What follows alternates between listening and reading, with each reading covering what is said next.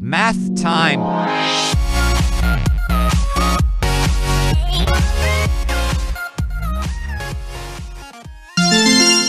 Good day, everyone. Today we're going to talk about theorems on trapezoid. Okay, let's start with theorem number one. It says here that the base angles of an isosceles trapezoid are congruent. So let's make use of this illustration. We have trapezoid, S-T-A-R. So again, where is our base angles in this illustration? So right here, we have a pair of base angles. We have angle S and angle R. And so with angle T and angle A.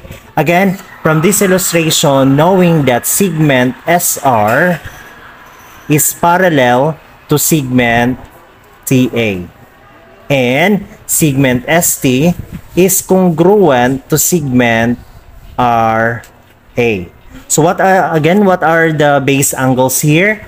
We have base angles. Okay, so we have angle S and angle R. Angle T and angle A. So from this theorem, it says that this pair of base angles are said to be congruent. So therefore, we can conclude that the measure of angle S is congruent to the measure of angle R. And so with the measure of angle T is congruent to the measure of angle A. Is that clear? Now, let's take for example. Okay. If the measure of angle S is equal to 70 degrees, how much is the measure of angle R? So right here, we could say that the measure of angle R is equal to 70 degrees. So this one is 70. It means to say that angle R is also equal to 70 degrees because of this theorem number 1.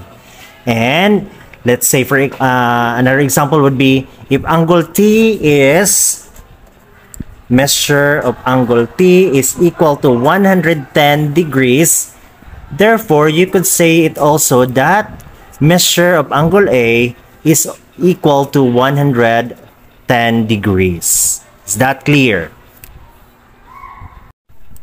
Now let's move on to theorem number 2, stating that opposite angles of an isosceles trapezoid are supplementary. So right here, we have a trapezoid PLAN.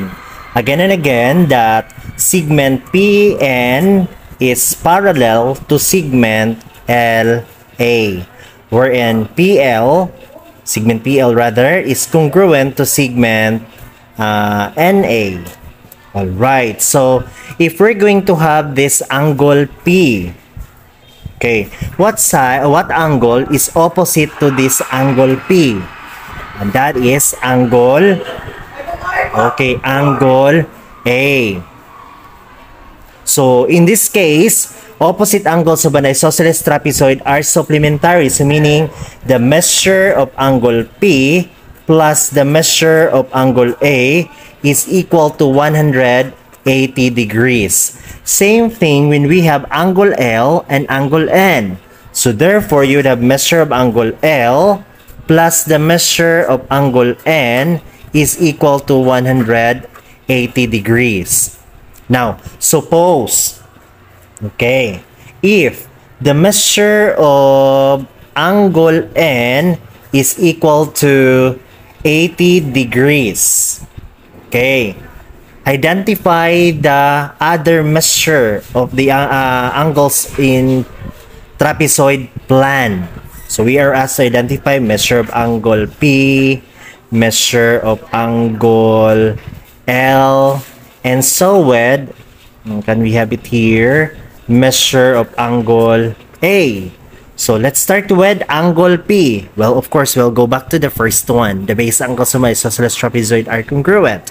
So since angle N is 80, so therefore this would be equal to 80 degrees. And we are asked for the measure of angle L.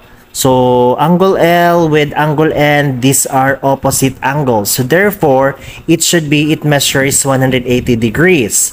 So if we're going to solve, uh, we have measure of angle N plus the measure of angle L is equal to 180 degrees.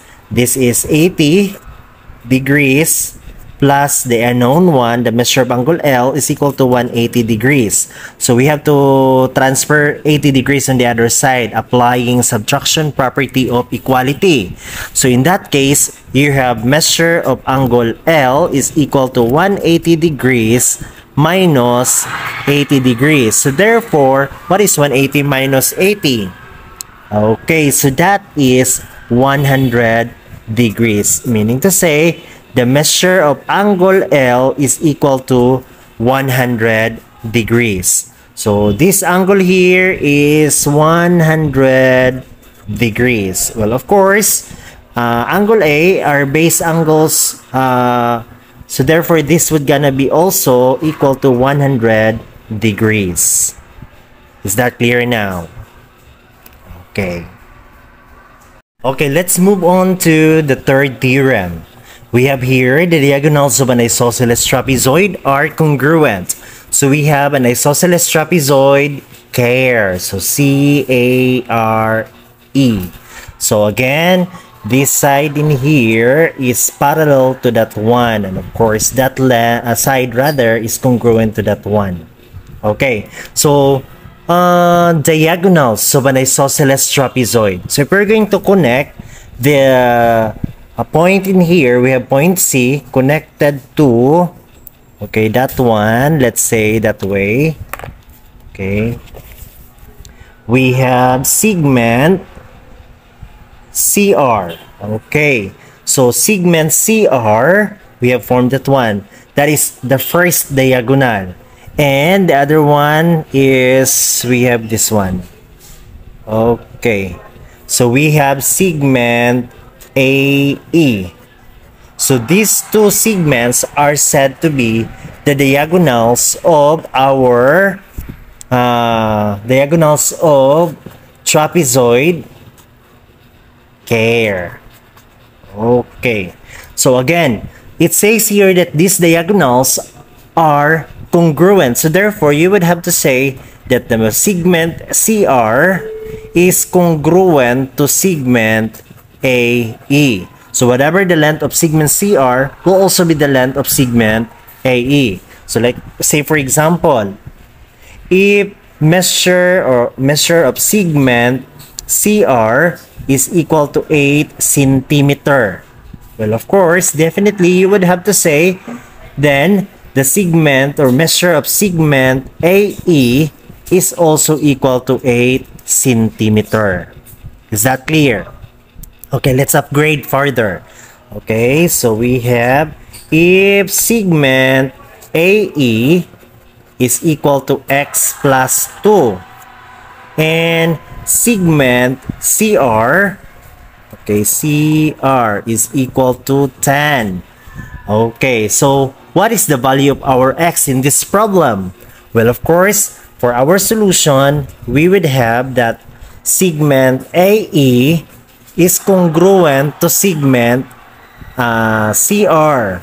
So right there, AE is x plus 2 equals 10. So solving for x, uh, we will transfer positive 2 on the other side. So that comes out, x therefore is equal to 10 minus 2. Applying subtraction property of equality. So what is 10 minus 2? x therefore is equal to 8. Okay, that is this segment AE wherein x plus 2, that is 8 plus 2, will give us 10. They are still congruent. That is theorem number 3. So we have theorem number 4. The median of a trapezoid is parallel to each base and its length is equal to half the sum of the lengths of the bases. So we have here an illustration of a trapezoid. Okay, so let's identify first what is median of a trapezoid. So when you say median of a trapezoid, it is a segment joining the midpoints of the legs. Okay? So we have here trapezoid stay. We have S-T-A-Y. And right here, uh, the bases, we have segment TA and segment SY. So again, let us assume that segment TY is our base 1 and segment SY is our base 2. So if these are the bases, therefore, this side in here, side ST and side AY, these are the legs of our trapezoid. So again and again, as we can relocate the median of a trapezoid, it is the segment joining the midpoints of the legs. So of course, we have to identify where is the midpoint of segment ST. So let's assume that this is the point, that is point B. And of course, on the other side, we have segment AY. Let's say the midpoint is X. Okay. So if we're going to connect them together, you would have therefore segment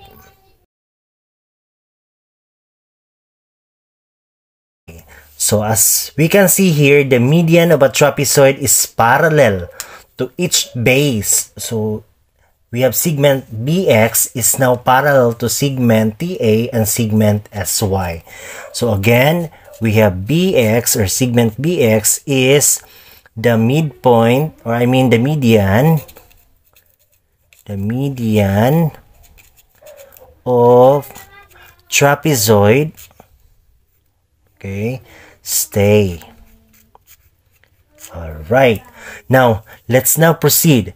It says here that each uh, its length is equal to half. So meaning the length of this is we have segment BX. The length of segment BX, uh, is one half the sum of the lengths of the bases. So we have sum. So meaning base 1 plus the base 2. Or you could have, we have bx equals 1 half. Our base 1 here is TA. Okay. Plus segment SY. Or another way around of writing, you could have segment BX is equal to TA or segment TA plus segment SY over 2. Is that clear now? Okay, let's take for example. Okay, so if our base 1, if our base 1 is equal to 8 centimeter and our base 2 is equal to 12 centimeter how long is the median bx? Okay. So right here, we have to make use of this formula. We have bx is equal to, what is our base 1 here? Okay, base 1 plus base 2 divided by 2. Alright, so our base 1 is 8 centimeter plus base 2 which is 12 centimeter divided by, by, uh, divided by 2. So 8 plus 12, that will give us 8 plus 12, 20 centimeter divided by 2. So therefore, what is 20 divided by 2? That is 10 centimeter. That is the length of our segment BX. So this one. So that length is 10 centimeter. Base 1 is 8 and SY is 12. Are there questions? Alright. Thank you so much for listening about theorems on trapezoid. God bless everyone.